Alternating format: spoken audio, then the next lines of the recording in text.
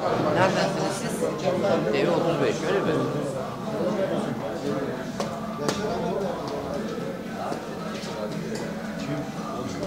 Merhaba TV35 izleyicileri. Bugün Hayır Demokrasi Evi'ndeyiz. Yanımızda başkanımız var. Başkanımıza kısa bir soru soracağız. Hayırla ilgili. Bakalım cevapları neler olacak. Sayın Başkanım, e, bu hayır e, organizasyonu ile ilgili burası için e, dışarıdan gelen tepkiler var mı? İçeri gelip e, hayır için bilgi almak isteyen, size danışan insanlar var mı? Oldu mu? Tabii yani şimdi biliyorsunuz bu anayasa metni hazırlanırken toplumsal mutabakat sağlanmadı. Ee, bir, sadece iktidar partisi bunu çalıştı. Sonra da meclise sundu. Toplumun hiçbir kesimi bu anayasanın içeriğini o günkü şartlarda bilmiyordu. Oysa ki anayasalar hep birlikte hazırlanır. Tüm halkın tüm kesimleri katılır. Tüm sivil toplum kuruluşları katılır. Üniversiteler katılır, gençler katılır. Yani kooperatifler katılır, iş dünyası katılır. Tüm kesimler katılır. Ondan sonra da meclise gelir. Mecliste de tüm siyasi partiler ortak görüşür, anlaşır. Ortak bir e, noktaya gelirler ve toplumsal komple bir e, uzlaşmayla bu metinler hazırlanır ve ondan sonra da bu metin onlarca yıl Türkiye'de kullanılması gerekir. Artık e, bu şekilde e, anayasalar yapılır. Halbuki bu anayasa dediğim gibi bir uzlaşı metni değil, tamamen e, iktidar partisinin e, hazırlamış olduğu bir metin. Tabii içerik olarak da bu metini e, toplum öğrendikçe, gördükçe, duydukça, anlatıldıkça hayır oyları artıyor. İşte burası da öyle bir mekan.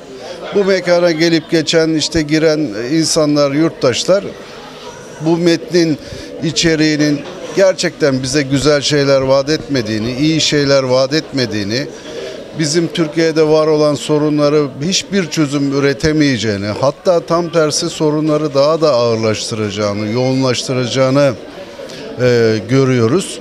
Tek adam e, rejimine yönelik bir anayasa bu. Tüm e, demokrasi değerlerini, tüm cumhuriyet değerlerini bir kenara bırakan bir anlayışla hazırlanmış bir metin bu. Parlamenter sistemimizi yok ediyor. Tek adam rejimini e, Türkiye'de getiriyor. Onun için biz bunları yurttaşlarımıza tek tek anlatıyoruz bu 18 maddeyi. Anlattıkça tabii ki yurttaşlar bu konuda düşünceleri hayırdan yana hızlı bir şekilde değişiyor. Zaten hükümette biliyorsunuz bu anayasayı savunamıyor. Tam tersi bu anayasayla ilgili e, içeriğiyle ilgili konulara girmeden farklı farklı daha değişik şeyler anlatarak yatırımları anlatarak işte Kemal Kılıçdaroğlu'nu e, suçlayarak, eleştirerek, demagoji yaparak bir Türkçesi de yani bir e, anlatım şekliyle de e, demagoji yaparak e, toplumu etkilemeye çalışıyorlar. Halbuki doğru olan bu metnin içeriğini toplumla paylaşmak, içeriğini anlatmak, ondan sonra da toplumun, yurttaşlarımızın, tavrımızın ne olacağını belirlenmesi. Evetse evettir, hayırsa hayırdır. Ama bilinçli bir oyla, gerçek bir bilgilenmeyle bu tercihlerin yapılması gerekir.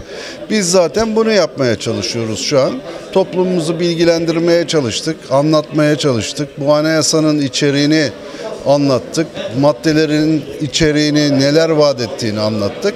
Ve sonuçta da görülen odur ki toplum bunları önemli ölçüde anladı, öğrendi, biliyor artık ve hayır oyları önemli ölçüde yükseldi Türkiye'de.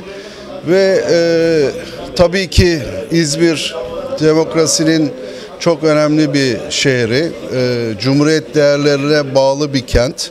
Bu kent tabii bu konuda duyarlılıkları daha fazla. Haliyle e, İzmir'de hayır oylarının oranı çok yüksek bir oranla sonuçlanacak. 70'in üzerinde bir oran İzmir'den çıkacağını tahmin ediyoruz.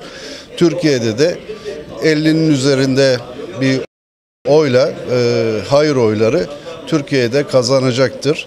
Yani benim tahminimi sorarsanız e, yüzde 56-57 seviyelerinde bir hayır oyu bekliyorum Türkiye'de.